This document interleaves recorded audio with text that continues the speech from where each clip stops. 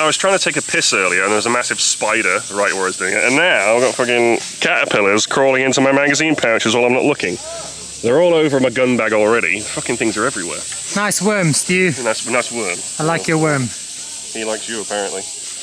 Nice worm, Stu. Yo, what's up guys? Welcome to another episode here at I Am Airsoft. Today I am joined by my good buddy Stewbacca. 117. He has recently received a new offering from G&G, I believe. Indeed. And uh, it's called an Simlilia. S-M-L-E.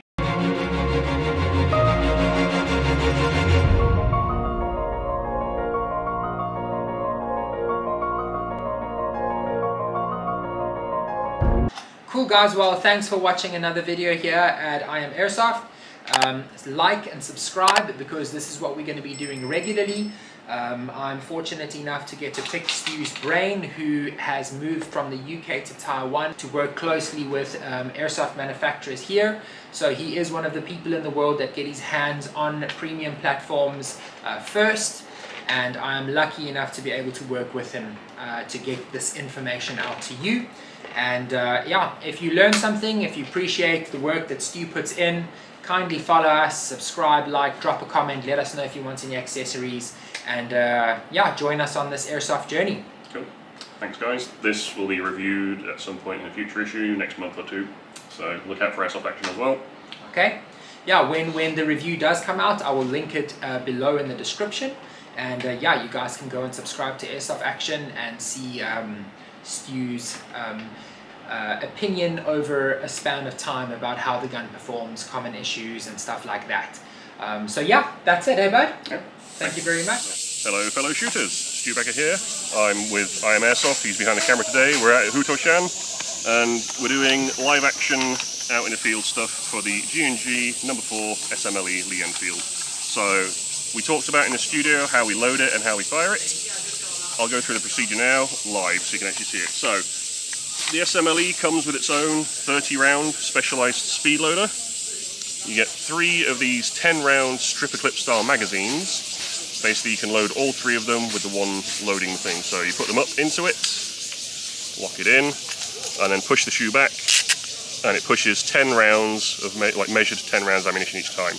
And then when you flip back, it refills that for the next cartridge, the next uh, magazine clip sort of thing. So there you are, that's loaded 10 into there. So when it loads, it changes the position of this thing on the back. So there's like a track, and that helps with the auto eject when it's empty. So to load the, the gun, pull the charging handle back, open the action, take your clip, press it in, and it snaps in. So you can also toggle it out if you need to, if you're unloading. But when you toggle it in like that, it locks in, bolt forward, and you're ready to go. Safety's off, cocking pieces back,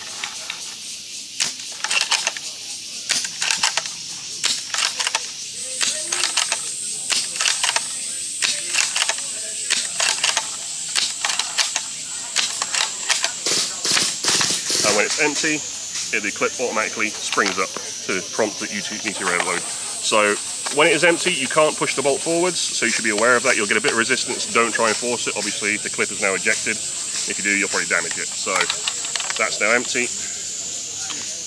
So you can once again use more of the rounds in your clip machine to reload it. And then last up there, so you can do three loads out of the machine. And again, ready to go again. So this basically toggles into the real magazine. You can see the actual external magazine does come out. So it's a separate entity from the gun. So toggle that in if you want to and lock that in as well. But it's supposed to be sped with a stripper clip like real thing really. We don't take the magazine off apart from maintenance. So close the bolt again. Right, thanks guys. I just wanted to introduce the features and how it operates in theatre. Today I am joined by my good buddy Stewbacca. 117. He has recently received a new offering from G&G, I believe. Indeed. And uh, it's called an Simlilia. S-M-L-E. SMLE. And what does that stand for, bud? Short magazine, Lee Enfield. Okay, and Lee Enfield is that what is that? The name of Lee the original? is the name of the designer. Enfield is the old British um, arsenal, basically the state arsenal that would produce weapons for the UK until mid 80s, 90s. Okay, and so what? Uh, what's the situation with this gun? Did you buy it? Was it sent to you, or what is the? I got in contact through the guys at Airsoft Action, my manager, and basically asked if I could get hold of one of these because I've been after a, a Lee Enfield of some sort for a while to go with my British collection. Obviously, I got the L85. This is the sort of World War II, tail end of World War II gun that the soldiers in the UK forces would have used. Awesome. I do remember in the gun wall video that we put up, you mentioned that the SMLE needs to go in between the FAL and the PSG one. Am I Yes, correct? same kind of caliber, roughly, not exactly, but 7.62 kind of thing, 303 British. So it's kind of up there with the, the long and high power rifles. So Cool. Well, just to um, sort of state my ignorance here, um, I use an HK416, and so my um, general knowledge about weapons is not nearly as extensive as the Encyclopedia of War and Weapons next to me here, Mr. Stew. Wikipedia. Um, so, um, excuse my ignorance, but I'm going to ask uh, Stu some questions from the point of view of having no knowledge about this platform whatsoever. And um, so, just first of all, what am I looking at? Is it a GBB? Is it an AEG? It's gas powered, but it's still manual operated. So basically, every time you pull the trigger with the bolt closed, it will fire a little puff of gas, which will propel around, but you still have to manually cycle it like the old guns do. So, Okay. so. So, is it? Uh, are we using CO2 cartridges or? no, it's green gas powered. So in the rear, if we have a look, there's actually a trapdoor which you can open. So there's also a hop adjustment unit in there, which is magnetic, sticks in. Put the gas in here. There's a reservoir in the back of the gun. You can fill that for about 30 seconds, and that will Okay. get. I haven't tried out exactly how many shots you get out of each fill, but I'll do that at some point during my review. And I imagine you get quite a lot because it's not cycling the bolts like you would in a GBB. So all it's doing is pushing the pellet out of the barrel. So Okay. Probably a lot more efficient. So yeah, I imagine it's a case you fill it up once in the morning and you probably use it all day. Oh, unless you're really hammering loads of rounds out. So. Okay, so I, I assume it gets quite a decent charge. Yes, yeah, Okay. it's the, the, the gas canister in the back fills most of the stock, which I think is one of the reasons is plastic and not wood. A lot of people have been like, oh, it's it's expensive for plastic. But it's like the canister in the back is so large that to make it out of wood, it'll be too fragile, I think. So they've used wood effect plastic and it's polymer. So. Right. Um, so, okay. So, tell me now. Um, I assume this is a sniper rifle. It was eventually pressed into service as one, as one of the derivatives. Um, so, but this is pretty much just the basic infantry rifle. Uh, at the end of the Second World War. This this kind of came in around the very, very end of the Second World War, and afterwards, and eventually got replaced by the uh, FAL or the SLR. So, Okay. So, um, just to go on just a little bit off topic, I, I assume that um, during the World War II era, these weapons were naturally longer. Yes, to start with, I mean that's the where the short part, part comes from. Short magazine length. Basically, it was the slightly shorter version because to begin with, these were pretty long, like pikes. Longer than this? Yes, pike, pike. What, what is what is the, the okay you know what we'll get there Mm-hmm. okay so but i mean we've noticed that the evolution of weaponry has become shorter more compact lighter Definitely. and um, This was still kind of designed in an era when trench warfare was still in the back of their minds, or you had to make long range shots and accurate fire, and eventually we went towards assault rifles or the FAL Okay. rifle. So. and just another like off-topic question would a bayonet usually be on a Yep. weapon like this So there'd usually be a lug, I'm not sure it's on here, it's basically socket bayonets would lock around the muzzle uh, Okay. by this time. Uh, American weapons tend to have bayonet lugs because they go on over the muzzle. British weapons usually have a socket bayonet where it actually goes right around. So there's actually some lugs on here that would lock your bayonet in. Interesting. Okay. Look, if you guys are uh, interested in this platform and you would like a bayonet as an accessory, just drop it in the comments. And of course, Stu is in contact with G&G, uh, the manufacturer here in Taiwan. I can definitely give them that feedback if it's popular. Hundred percent. Okay, so um, so it's a gas um, powered um, airsoft gun. Yeah. And now, what what you did touch on, and something that I will be honest with from the get go, it looks plasticky. Yes, it does to a bit. yeah. Um, but you you mentioned that that's for a reason. Yeah, to be honest, uh, they could have probably done the front in wood, or you can probably change that if you really want to. There's Okay. nothing much going on at the front apart from the barrel and the main structure. But in the rear, this whole space is taken up with gas parts. Uh, I had the the back end off it yesterday to just check the seals, things like that, before I started using it. So most of that space is taken up by the gas canister uh, that feeds through. So it would be too thin to make it from real wood, I think. They've Uh-huh. used high impact plastic because it's got to be a thin cross section, so that's the kind of compromise. If you really wanted to, you could probably change the fronts, and this would be less noticeable anyway, at least, but Mm-hmm. that's the trade off. Look, we um, G&G is not an incompetent brand in, in any shape or form, right? So the thing is, is something that Stu has mentioned recently is um, working with um, some other airsoft companies and seeing the factories and the price of materials during COVID and material shortages. The price of weapons have increased um, massively. So uh, for a weapon like this, um, G&G being intentional, I assume that it was intentionally made to meet a uh, to, to meet the expectations of a certain portion Yeah. of the market. Certainly, I think G&G, a lot of their stuff is mostly for export anyway, and to the broader market. The people who really want wood, you can buy this and then put a wood kit on it, I'm pretty sure.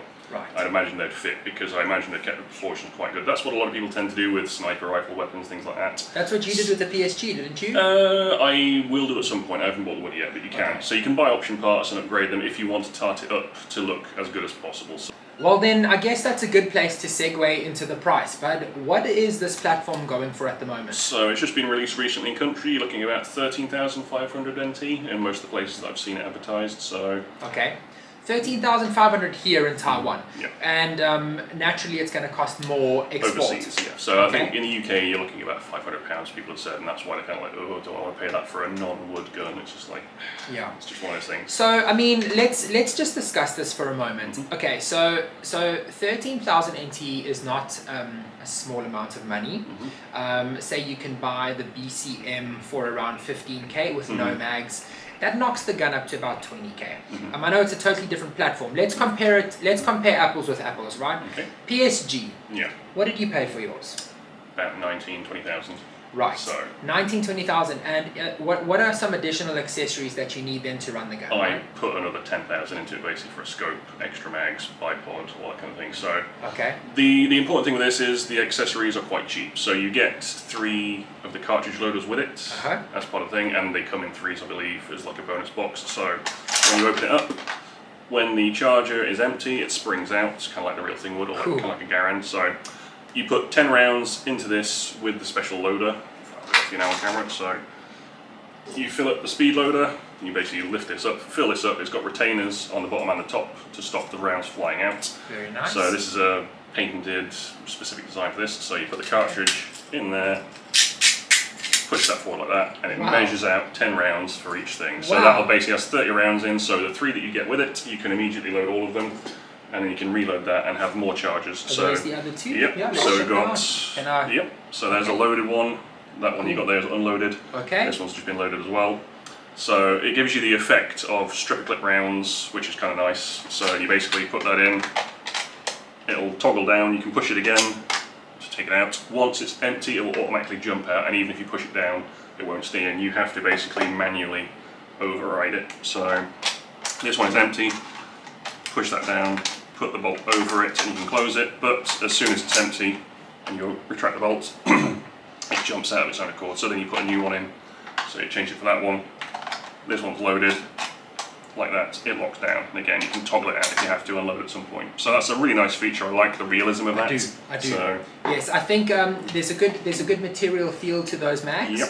Um, I like the fact that um, well, one of the issues that I've run into as a GBB user, um, and this goes back to VFC and the bolt lock issues, um, and this is also one of the reasons I never tap people on the shoulder and say. Um, uh, hit, you know. Um, I always make sure I shoot uh, an opponent. Um, of course, if we're in a close distance, we use a pistol. Sorry, I'm going off on a tangent, but what I mean is with a GBB, if that bolt doesn't lock back, you don't know that you don't have any BBs unless you're counting.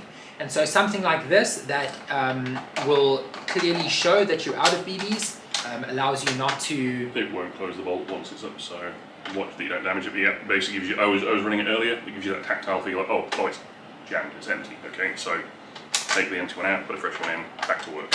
Okay, and so if it does get stuck, don't force it. Yes, just Yeah. be mindful. You've got 10 rounds, so when you get that resistance, don't be like, because you'll look down and you realise, oh, it's up, it's empty, time to change.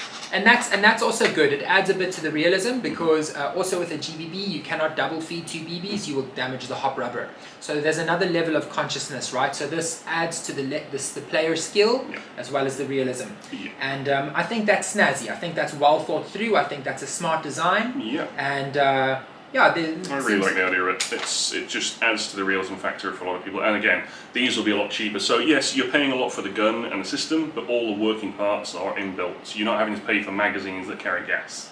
right. So these will be a lot cheaper because it's just plastic. So you can buy loads of these, have a proper bandolier if you're really into reenacting. Whereas, like we say, if you buy a PSG one or a, an AR style platform gas, you're going to have to pay a lot more per magazine to make it workable. And you know, just if if you will, for me to drop a trade secret that um, Stu has told me is a lot of the manufacturers make a lot of the profit on the magazines. So a gun where there are no magazines to to make that profit on, well, that is going to go into the platform itself. The sunk cost basically goes into this because they're not making as much on the accessories. You received this yesterday, Yep. so you haven't had a chance to skirmish it as yet. No, I'll be doing that this weekend. I've chronoed it, so using 0.3 grams and 12 kilogram gas, and it was running around about 125 meters per second, very consistently as well. So, Okay. so yeah, it's really good consistent output. And again, you're looking in the 130 meters a second range with a 0.3. So that is going to be pretty toasty. It's about two, two and a half joules maybe. Wow. I believe the bolts may actually be different depending on which country, because if you open it up, you can actually remove it in a realistic manner. So let's take the charger out first. But I trained on something similar when I was in the Air Cadets. You basically push this down, lift the locking lug up, and the entire bolt comes out. It's just Oh, like wow. a real thing. So 2.4 on the bottom there, I'm guessing, is the joule rating maximum for this. So Okay. in Taiwan, obviously, our power levels are allowed to be a bit higher. Uh, other things they might they might come up with a different bolt that's got a different nozzle on it that's tighter. So like an MPAS system or the RE Tech kind of additional things. I imagine they'll come up with different bolts for different countries, and it makes it really easy to change the power level. Then, so I see. And um, so now, is there uh, an easy spring change system built in here, or do you mean you change the actual bolt? I imagine you change the bolt and the nozzle because there is no spring in this apart from the mechanism that's working because it's obviously gas powered. Okay, so sorry, just to clear up, like I said, um, uh, um, so so the the bolt Mhm. has a valve. yeah, The valve controls the impasse. Yes. A larger um, valve will have a larger gas release, which will increase the power that goes through the Yes. gun, So- increasing the joule counts and so on. Yep. Okay, so so, So I imagine that'll be the thing that changed because it's marked on the bottom. So I'm guessing that's because they've got different power levels for different bolts for I different understand. regions. So Okay, um, so then um, one more question before we go through some specs. Mhm. What do you think, boy, when you're holding this thing, Yeah. when you're feeling it, does it feel? Because um, as you mentioned, this is something similar to what you trained with in the yes. How's the comparison between real steel to this? It's very familiar. I mean, the, the action of the bolt is taking me back at the end of the day. So, like, the, the takedown procedure is basically real steel. So, say you, there's a catch back here, you push that in, lift your locking lug up, make sure your sight's up, and you just take the bolt out. So, it's very, very familiar for me. We use the number 8 trainer in the cadets, which is basically the same system but single loading. So, it's got the removable magazine. I mean, in practice, soldiers wouldn't really remove them. This has been basically you, you charge it from the top. You don't really remove the magazine that often. A lot of them actually had them chained to it so you couldn't lose it. It was just for maintenance purposes. So yeah, it's very easy to run it as well because there's no spring, there's no air power, it's all gas, so it makes it very easy to run it fast and it's nice and smooth. And the trigger pull is pretty decent and crisp on it. You see here there, just very light puff of gas because it's not operating anything apart from blowing the pellet out. So What is that? How much does it weigh? 3,640 grams, so three and a half kilos. Okay, so and so yeah, good tactile feel. Yep. Can I can I give it Certainly, a yeah. can I give it a squeeze, Okay. man? So yeah. Yeah. Oh wow, that feels good. Yep. That feels very good. So you've got the, grip at the back there. You can Yeah, man, I like that. shoulder it up. It feels good. It feels elegant, I Yes. must say, and it feels it feels. Okay, I have to close one eye just to line up. Indeed. Okay. So, yeah. Yeah, it feels really good. It's got a good weight to it. I don't feel like hold, I'm holding a toy whatsoever. Okay, and so I assume when I charge, I'm going to put my thumb on the bolt Mm-hmm. and Lift pick it. up with the first finger and charge back. Yep. and put back. And then down. Okay, and Don't squeeze back. Okay, just forwards. There you oh, just forward. Yeah. Okay, okay. This so is the cocking piece, so if you push against that, it'll probably interfere with it. So Okay, so up, pull back, Yeah. forward, Down. and down. Yep. Okay, clean. Um, can I pull the trigger? Yeah, that's fine. There's nothing in it, so yeah. Nice. So you see the cocking piece. You can actually recock it like the real thing without cocking the action. Okay. In the real gun, you'd do that if there was a squib round or kind of thing you need to refire. Obviously, it doesn't really do much in the airsoft one. If you already fired the round off, it was being empty chamber. But it gives you that realism option with the cocking piece. So there's also the long range sight on top, which actually has the adjustment. So there's a leaf sight which comes up, and you can adjust the range of that looking through the aperture at the top, or you flip it down, and it's more like a combat aperture for short range, which I imagine for airsoft purposes is going to be more useful. I like it very much. Mm. Um, I must be honest. Um, it's it, it's uh, the weight, the rate ratio of the gun is quite far forward, Mhm. so I feel it on my forearm. Yes. Um, but um, my you know my 416 is about 5 kgs, Yeah. so I'm used to quite a weighty platform. That's it. But I mean, you know, I suppose you drop it, you pick it up, you get it on site, Mhm. and it will be a pleasure to to use. Yep. Um, I assume that um, you know we always talk about which kind of an individual would would purchase this, and Yep. I think someone who has a good knowledge of World War II. Who do you think this is for? Yeah, I mean, certainly Barra on our team, he's already uh, expressed a deep interest in having a go at it at least and maybe getting on himself. Someone that's passionate about history is probably going to like this. It's not the most practical skirmishing weapon. You've got 10 rounds in each stripper clip. You could uh, theoretically scope it up and use it as a, an assassin kind of sniper. But yeah, it's going to be for someone who enjoys the look of it and maybe taking longer single shots Yeah. sniper style perhaps, but it's not going to go up against you guys with like 30 round mag GBBs that easily. So it's, it's going to be for collectors, reenactors, people who really care about the history. It's a nice Yeah. piece for that. Yeah, like like um, someone who wants to uh, get involved, get in, get in, um, put the correct uniform on. Yes. You know, dress up correctly, the World War II style, and um, Yep. you know, reenact like you And say. it, yeah, definitely looks the part for that. Even though it is plastic, the wood effect's pretty good. I mean, I've seen other manufacturers do far worse than this at the end of the day. So Yeah. You know, to, to be honest with you, sitting here and, and, and holding it and looking at it, it's kind of lost its um, plasticky look. Mhm. Um, you know, looking at it, it, it is, it is, it's well finished, it feels good. Uh, just picking up the, the weight of it, it's Yeah. very weighty, and so, like I said, it immediately, oh, that feels substantial. Yes. That feels like a, a, a platform. I'd, I'd, I'd actually love to, to have a go with that. Yep.